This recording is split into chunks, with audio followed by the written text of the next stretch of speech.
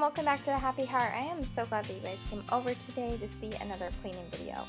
On this particular day, as you can tell, my house was just trashed. Like there was just stuff everywhere. I don't know what it was. Like there was just toys and everything just needed to be straightened up and tidied up. And so um, luckily with Ryan's help, because most of these toys were his, um, he definitely um, went through and helped me and today I end up cleaning up my kitchen and my dining room and that was really all I had time for on this particular day but I was really glad that I got just this little bit done. It made me feel so much better because it seemed like such a daunting task because there were so many toys all over and I know you mamas out there understand that when you have so many toys and shoes and just random things that it feels like it's going to take forever to clean this room um, before you can ever really get to the actual cleaning.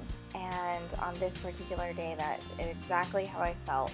But once it was done, oh my gosh, it was just a sense of relief. And you'll see, like, we had um, just stuff everywhere. I ended up having to dust about everything in the living room, everything in my dining room, but that was okay. As you can tell, my son was playing with like a fingerprint kit, I think, and all the dust from that and the Play-Doh he had been playing with was all over this table.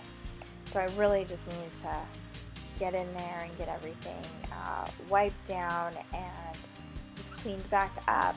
So I hope you enjoy this. I hope it is motivating to you and um, just helps you uh, just pick a room and start.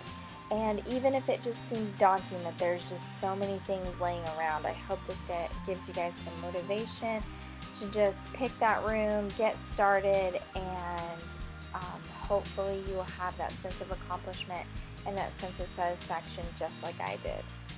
If you're new, uh, don't forget to like, comment, and subscribe. I love getting to know you guys in the comments. Thank you so much um, for watching this video, and I will try to be quiet so y'all can just enjoy the music.